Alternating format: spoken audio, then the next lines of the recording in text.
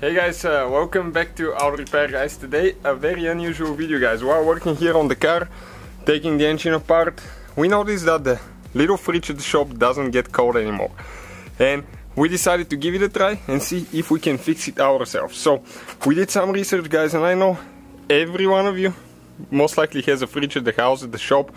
So I want to share some really good information with you, how to test the thermostat. 90% of the time when a fridge stops working it's because of that little thing that's very inexpensive. They usually range between 10 to 20 30 bucks. For our model here I paid only 1080 for that thermostat. Okay, for the new one here. Now, how you test them guys? What could happen in that thermostat is either get stuck open or stuck closed.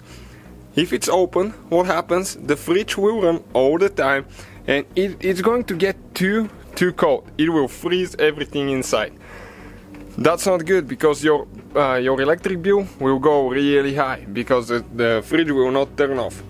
The second most common thing is the fridge will not work at all. If you have a light inside, the light will work, but the fridge will not uh, will not keep uh, cold temperature at all because the compressor will not kick in. So usually on the side you have two wires and you might have two extra ones or one. One of them is just a ground wire. Usually the green one I know this is a ground wire. And then you have a black and white in most cases. And this is for the uh, for the wire going towards the uh, uh, AC compressor. Because the fridge it's kind of like the car. It has a compressor that uh, gets uh, gets cold and it cools everything off. Now, what happens when the thermostat turns on? Okay, it's going to make a connection between this and this wire and the electricity will go to the compressor. Now, if uh, if uh, the thermostat closes, what happens when the fridge gets too cold and it turns off? Okay, so it doesn't work and burn electricity. Uh, it's going to break the connection between these two. So, when we turn it on, okay, I'm going to connect both wires of the multimeter here. Okay, check it out now and I'm going to test it for continuity. Okay right here.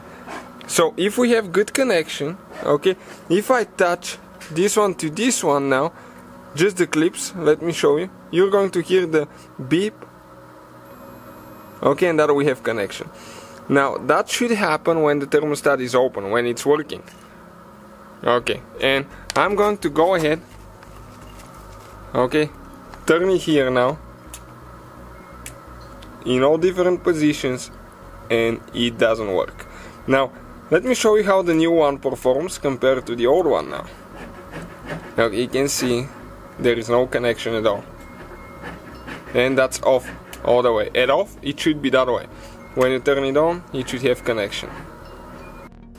So I'll just get the button from the okay from the old one and install it on the new one now so I can go ahead and turn it I connected the wires on the side just like I did to the other one.